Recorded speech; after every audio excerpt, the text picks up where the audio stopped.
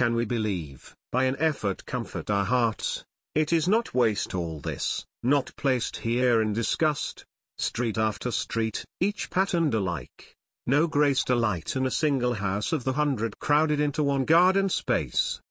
Crowded, can we believe, not in utter disgust, in ironical play, but the maker of cities grew faint with the beauty of temple and space before temple, arch upon perfect arch, of pillars and corridors that led out to strange courtyards and porches where sunlight stamped hyacinth shadows black on the pavement, that the maker of cities grew faint with the splendor of palaces, paused while the incense flowers from the incense trees dropped on the marble walk, thought anew, fashioned this, street after street alike. For alas, he had crowded the city so full that men could not grasp beauty, beauty was over them, through them, about them, no crevice unpacked with the honey, rare, measureless.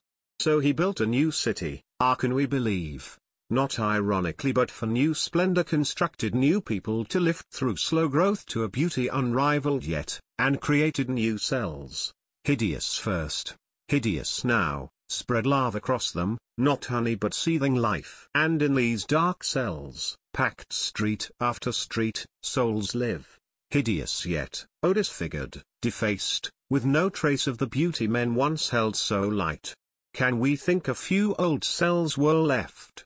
We are left, grains of honey, old dust of stray pollen dull on our torn wings.